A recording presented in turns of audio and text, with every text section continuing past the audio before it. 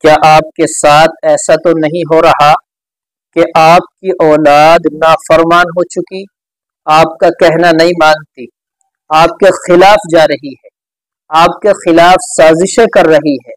आपको नुकसान पहुँचाने के दर पे है।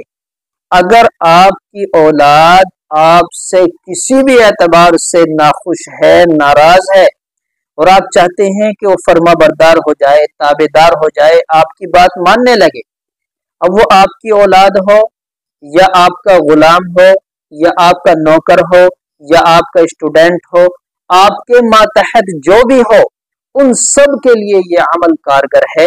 अमल क्या है? इन्नी तवक्कल तो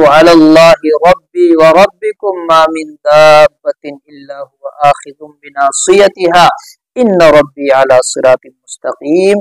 उसकी पेशानी के कुछ बाल पकड़कर इसको पढ़कर उसके ऊपर दम कर दिया जाए इनशाला वो फर्मा बरदार हो जाएगा।